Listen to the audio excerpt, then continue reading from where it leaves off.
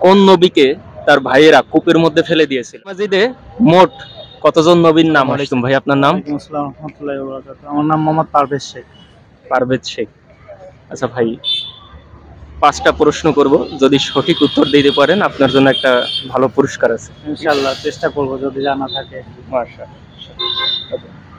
আচ্ছা কোন নবীকে তার ভাইয়েরা কূপের মধ্যে ফেলে দিয়েছিল? কূপের মধ্যে ফেলে দিছিল। আপনি চাইলে অপশন ব্যবহার করতে পারেন। হ্যাঁ অপশন মনে পড়ে হজরত ইয়াকুব ইয়াকুব আলাইহিস সালাম। হজরত ইউসুফ হজরত মোহাম্মদ সাল্লাহ সাল্লাম এবং ঈসা আলাইসাল্লাম আমার যতটুকু মনে পড়ে আমি কোথাও পড়ছিলাম হযরত ইয়াকুব আলাইহিস সালাম। কাছাকাছি আছেন ট্রাই করতে পারেন কিন্তু। আমি ঘটনাটা আমি পড়ছি কিন্তু সেই হিসাবে মনে পড়তেছে যে ইয়াকুব দিয়েছিলেন আচ্ছা। সঠিক উত্তর হচ্ছে হজরত ইউসুফ মানে ইয়াকুব আলাইসালামের ছেলে। আচ্ছা আচ্ছা আচ্ছা। ঠিক আছে. আচ্ছা। কোরআন মাজিদে মোট কতজন নবীর নাম আসছে? এটা বলতে পারব না। আমি একটা অপশন দিচ্ছি। ইসলাম সহজ আমরা সহজ করেই দিচ্ছি। ঠিক আছে। বাইশ তেইশ চব্বিশ পঁচিশ। বাইশ তেইশ চব্বিশ পঁচিশ। চারটে অপশন আচ্ছা তিনটা তেইশ চব্বিশ পঁচিশ তিনটা। তাহলে হয়তো তেইশ জনের কথা উল্লেখ থাকতে পারে। একটু চেষ্টা করেন। এখন মনে করেন যেহেতু ওইভাবে স্টাডি করা আহ, একটু চেষ্টা করেন দেখেন। ব্রেনে মানে কতজন নবীর নাম আসছে কোরআন মাজিদে? সরি ভাই আসলে যেটা আচ্ছা, না ঠিক আছে, জানা নাই। আচ্ছা জানা নাই যেহেতু জানিয়ে দিচ্ছি। ঠিক আছে?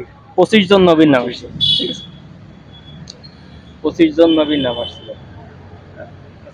কোরআন মাজিদে মোট কতজন সাহাবীর নাম আসছে জানেন?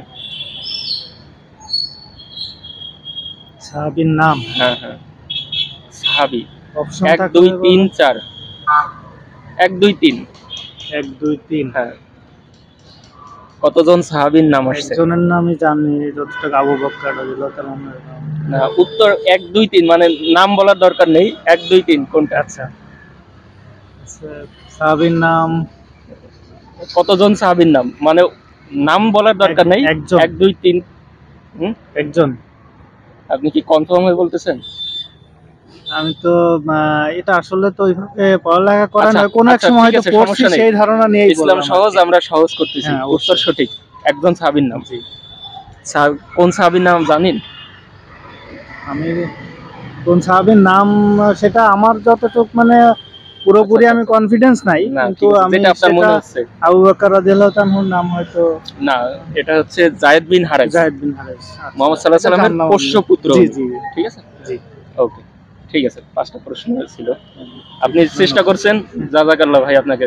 তবে জানতে পারলেন তো নাকি? না অবশ্যই অবশ্যই। যে আমি যে জিনিসটা জানি না শেখার তো কোনো বয়স নেই আমি শিখলাম হ্যাঁ শিখতে আসলে লজ্জা বোধ করার কোনো কিছুই নেই। শিক্ষার তো শেষ নাই। জি। ওকে ঠিক আছে আসসালামু আলাইকুম।